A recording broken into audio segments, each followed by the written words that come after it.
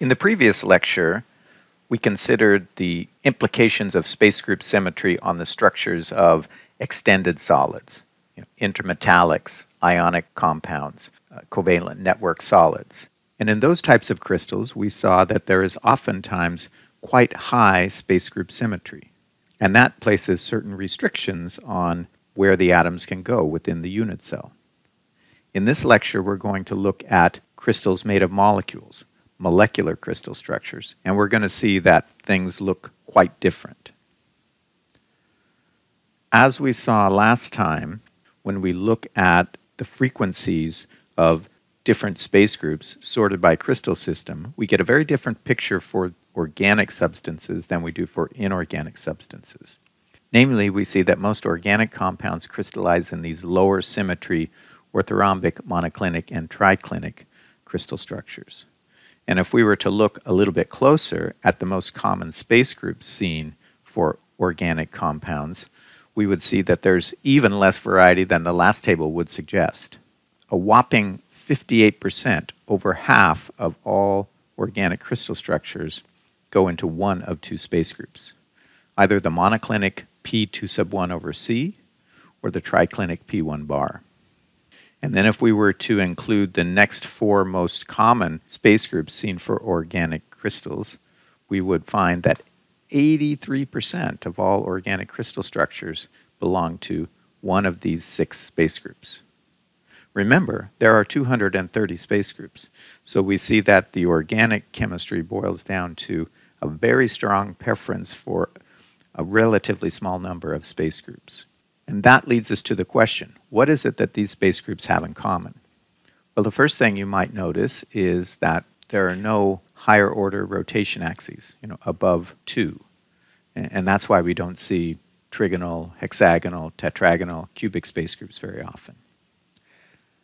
The next thing you might see is even amongst the orthorhombic and monoclinic examples here, generally we're seeing two sub 1 screw axes rather than a twofold proper rotation axis. So only the C2 over C has a twofold rotation axis. And remember from a few lectures back that C2 over C also has a 2 sub 1 screw. The other thing that you might see if you looked carefully enough is that none of these space groups contain a mirror plane. P2 sub 1 over C has a glide plane, C2 over C has a glide plane, and PBCA has three glide planes. But amongst these six space groups, you won't find even one single mirror plane. And so, what is it about these operations, the screw axes and the glide planes and inversion centers, that is favored in organic crystals?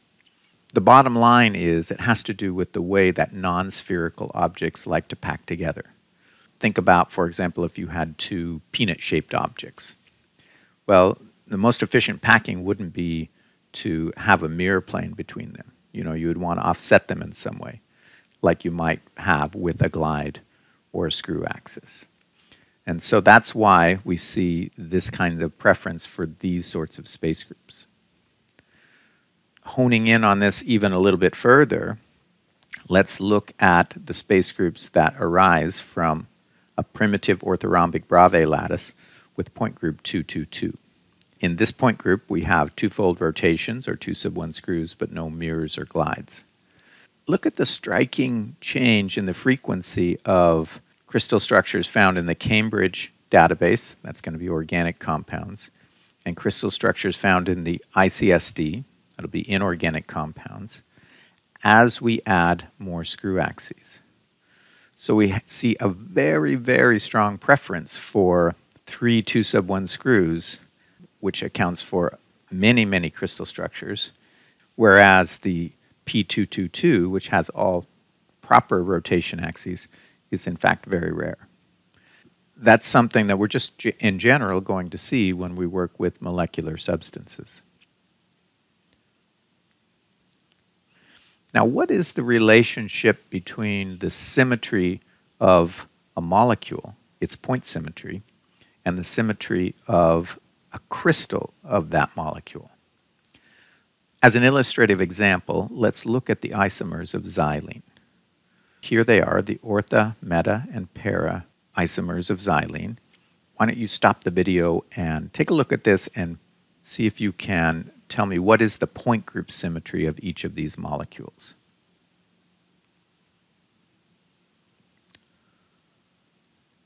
Okay, what did you get?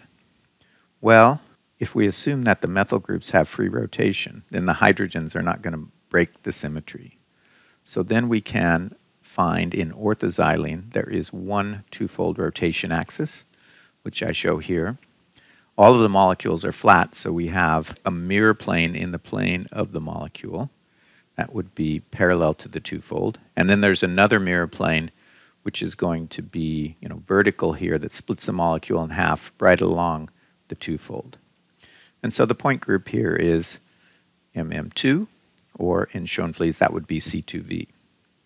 When we look at the metaxylene, we see that there's also a twofold axis, and we still have the horizontal mirror plane and then the vertical mirror plane that splits the molecule in two along the twofold axis. So both of those mirror planes are going to contain the twofold axis, so this molecule also has the same point group symmetry. When we come to paraxylene, now we see that we have more symmetry. We have a twofold rotation axis that's along the para direction, if you want to call it that. But we have also a twofold rotation axis that is perpendicular to that. That would take this lower methyl group and bring it up to this upper methyl group. And we also have a twofold rotation axis that is perpendicular to the plane of this projection. There are parallel mirror planes for each of those twofold axes, and so when you put all those together, you get point group MMM or D2H. Okay, so we see that the paraxylene has a different symmetry, a higher symmetry than the other two isomers. Now what happens when we make crystals from these molecules?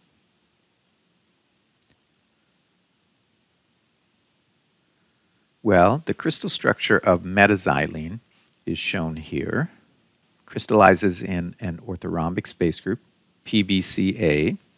Right, that was one that was on our list of one of the six most common space groups for organic compounds when we look at the crystal structure, we can count up a total of eight molecules per unit cell.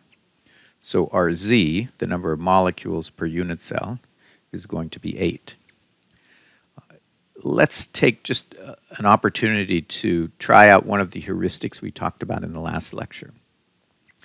We said that you know if you don't know the density and you're trying to figure out Z, you can get some ballpark idea for organic compounds by assuming that each atom is going to have a volume of 10 cubic angstroms. So in this metaxylene molecule, you know, the molecular formula is going to be C8H10.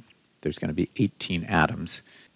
And if we had eight molecules, 8 times 18 is going to give us 64 carbons and 80 hydrogens. That's a total of 144 atoms in the unit cell. Now, if we just did that very rough estimate of Z, you know, a volume of 1347, if we divide that by 10 cubic angstroms, we would get 135 atoms in the unit cell. 135 and 144 are not too far apart. If we're rounding to the nearest 18, then um, you would come up with 8 molecules per unit cell. Uh, the next closest number would be 7, but you'll see that it doesn't make a lot of sense to have a z equal to 7 in an orthorhombic space group like this. So we could have probably figured out a priori from the unit cell volume and just the molecular formula that we're likely to have 8 molecules per unit cell. Now let's take a little closer look at the symmetry elements in this point group and how they relate to the crystal structure.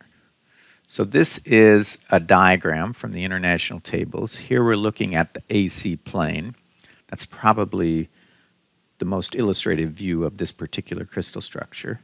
And when you look at all of these symmetry operations, what you're going to see is that you have three different glide planes, and you have various 2 sub 1 screw axes. Uh, and, and here's another glide plane. but we don't have any mirrors and we don't have any proper twofold rotation axes. All right, what do these symmetry elements have to do with the symmetry of each molecule? Well, if we start with this molecule as the first one we're going to put into the unit cell. Now let's see what the symmetry operations do to this molecule. We could start with the 2 sub 1 screw axes. Let's look at this 2 sub 1 screw right here. That's going to take this molecule and rotate by 180 and translate one half of the way of the unit cell up at us. All right, so that's going to generate this molecule that is highlighted in blue. If we take the 2 sub 1 screw axis that's right here, that's going parallel to the A axis, uh, that's going to rotate by 180 over to here, and then uh, translate by one half unit cell, and that's going to be this molecule. And then finally, if we take the third 2 sub 1 screw, this is the one that is parallel to C, that's going to rotate by 180 and then translate by one half unit cell. And that's going to give us uh, this one here. Okay, so we can see those three molecules that are highlighted in blue are all generated by the 2 sub 1 screws. Let's do the same thing for the glide planes. So there is the glide perpendicular to A, right? That's going to be the B glide. So that glide direction, the translation part is up at us. So if you imagine the glide plane here, we're going to reflect through it and then translate up out of the plane by half a unit cell. That would give us this molecule highlighted in yellow. Uh, let's now take a look at this glide right here. That's going to be the A glide, which is perpendicular to the c-axis. So that one is maybe the hardest to see because it kind of go, cuts through this molecule, but it's going to flip it around and then translate one half unit cell down to here. And then the third glide plane is this one up here, right, which is sitting above the plane of the projection by one quarter unit cell. So that's going to, we're going to reflect through that glide and translate one half unit cell. So the three molecules shown in yellow are created by the glide planes. And then the last symmetry element is the inversion center. Let's take a look at this inversion center here. That's going to take this molecule and bring it over here, uh, highlighted in green.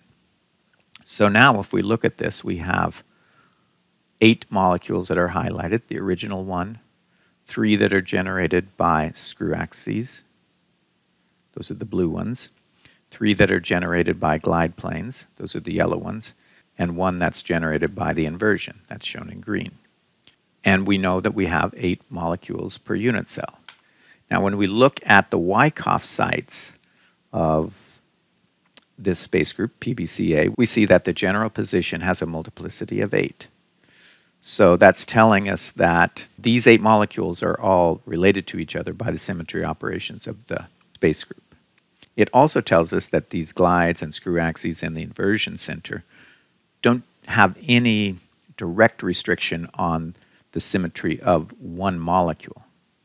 Right? So you could have any symmetry you want for the first molecule, and then you're going to get all of the other atoms by the symmetry elements of the space group. So there's no direct relationship between that C2V symmetry of this molecule and the MMM symmetry of the space group. It's also worthwhile to think about these relationships in terms of when we're going to get into trying to solve crystal structures. Because z equals 8, and because the general position has a multiplicity of 8, we can talk about something called the asymmetric unit. The asymmetric unit is the part of the unit cell that if you know the atoms in the asymmetric unit and then you use both translational symmetry and then the point symmetry operations of the space group, you're going to generate every other atom in the crystal. So knowing the atoms in the asymmetric unit is enough to know everything about the crystal. And so what that means is that if we can determine where that molecule is located and the orientation of that molecule, just one molecule, then it's enough to know everything else about this crystal structure from the symmetry operations of the space group. Now, when we're doing structure solution from powder diffraction data, it's sometimes not so straightforward from a powder pattern, which has a limited amount of information in it, to locate all of the atoms in the unit cell. There are 18 different atoms in this molecule, and if they're all on the general position, that means there's an x, y, and z coordinate associated with each of those 18 atoms. So there's 54 variables that would have to be specified to determine the crystal structure of this substance. However, if we were to use a rigid body, right, it's not really a mystery what are going to be the bond angles and the bond lengths in metaxylene. That's well known. So if we were to take that rigid molecule, metaxylene, and then do what's called a rigid body refinement, where we don't allow the shape of the molecule to change during the refinement. Then, because there's only one molecule in the asymmetric unit, our task is really just to find the location of that molecule and its orientation. And we only need three variables for the location and only three variables for the orientation. So that problem that was 54 variable problem now becomes a six variable problem. Now, what about paraxylene? We saw that paraxylene had a higher molecular symmetry. It was MMM. The crystal structure of paraxylene is actually quite different from that of metaxylene. It crystallizes in this monoclinic space group, P2 sub 1 over N, which, by the way, is a non-standard setting of P2 sub 1 over C. They're the same space group, basically. Uh, and that's the most common space group we encounter. We see that the unit cell volume is actually much smaller here, only 300 cubic angstroms. If we look at this for a minute, we would find out there's actually only two molecules per unit cell. How well would our heuristic of 10 cubic angstroms per atom work? This molecule also has 8 carbons and 10 hydrogens, so 18. Um, at this volume, that would be 31 atoms in the unit cell, right? 310 divided by 10. How well does 18 go into 31? Well, you know, doesn't go in an integer way, but it's closest to being 2 rather than 1. And in fact, that's what we see. 2 molecules per unit cell. Now, how does that relate to the symmetry operations of this point group? If we look at the international tables for P2 sub 1 upon n, we would see these are the Wyckoff positions. And so you notice that the multiplicity of the general position, 4, is bigger than the number of molecules in the unit cell. There are only two molecules in the unit cell. So that tells us that the center of gravity, if you want to call it that, but some point in this molecule must reside on a symmetry element. There must be symmetry elements that build out the molecule. And if you look at this projection of the crystal structure, and then I put on here in red the, some of the symmetry operations, we see, oh yeah, there's an inversion center right at the center of the molecule. You know, you could think about it as the molecule sits on site 2A. Now, there's no atom there, so there's not any atom that sits on site 2A. But because of that, it means that we only have to include, let's say, this half of the molecule in our asymmetric unit, and the other half of the molecule will be generated by the inversion center. It also constrains us to have inversion symmetry precisely in this molecule. And then the second molecule in the unit cell, which you find here at the body center, is generated either by the 2 sub 1 screw or the N glide. They're both going to take a molecule that's here at the origin and move it to here with exactly the same orientation. So when we look at paraxylene, what we see is that we have a case where the number of molecules per unit cell is smaller than the multiplicity of the general position. Sometimes we'll talk about this Z prime, the number of crystallographically independent molecules per unit cell. And in this case, it's 2 divided by 4. It's 1 half. So that tells us that there's only one half of a molecule in the asymmetric unit. Um, it also tells us that there is some symmetry element of the space group that imposes a symmetry on the molecule. Here it's an inversion center. Now, if we were trying to, let's say, solve this crystal structure from powder diffraction data, we're going to use a rigid body again. Now we don't have to find the location of the molecule. The symmetry is telling us whenever z prime is less than 1, the position has to be associated with some symmetry operation of the group. And here the obvious one would be the inversion center. It's the only point symmetry element that's not a travel symmetry element. Um, so now, solving the crystal structure, if we assume a rigid body, would be as simple as determining the orientation of this molecule. That would only be three variables. That comes back to this idea of you know, how to approach the structures of molecular crystals. You know, we've seen that we expect to see travel symmetry operations like glides and screws specifically two sub 1 screws, and we oftentimes might have inversion centers. We've learned that the z prime, that is the number of molecules per unit cell divided by the multiplicity of the general position, tells us something useful about solving the structures of these substances. When z prime is 1, well, we just need to find the location and the orientation of that molecule in the unit cell. Of course, some other molecules might have more conformational degrees of freedom. They might have torsion angles or shapes that can change, unlike xylene. In that case, we'd have to solve those things as well. When z prime is less than 1, we see that the molecule must in some way be associated with a special position. And therefore, some of the symmetry operations of the point group will map part of the molecule back onto itself we sometimes might encounter a case where z prime is greater than 1, which tells us that there are different molecules in the unit cell that are not related to each other by crystallographic symmetry. They are crystallographically independent. And those cases are actually quite a bit harder to solve from powder diffraction data.